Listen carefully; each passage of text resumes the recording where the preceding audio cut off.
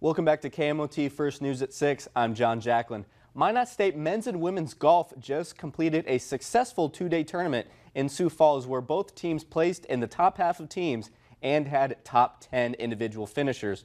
Starting with the men at the Augustana Spring Invitational, they finished fourth and, play, and played consistent across both days, shooting 27 over par yesterday and 26 over par today. Chase Gadak was the top Beaver and tied for fifth place in the tournament.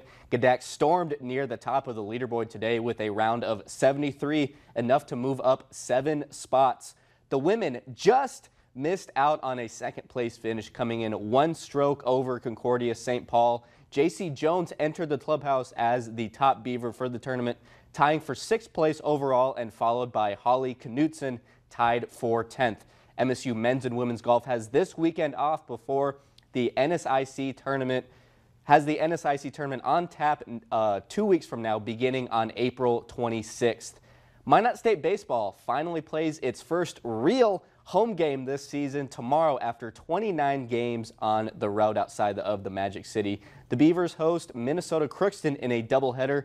MSU is 9 and 20 overall and 6 and 13 in NSIC play. Meanwhile, Crookston is 17 and 11 and 11 and 7 in conference. First pitch is 1:30 p.m. tomorrow at Corbett Field and the second game will start following the first game. MSU softball is also in action tomorrow, but they're on the road in Aberdeen, South Dakota as the Beavers take on Northern State. Minot State enters the week fifth in the NSIC standings with an 8-4 conference record.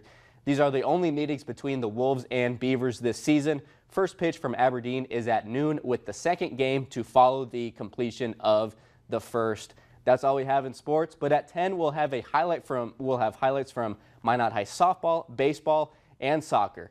We'll be right back.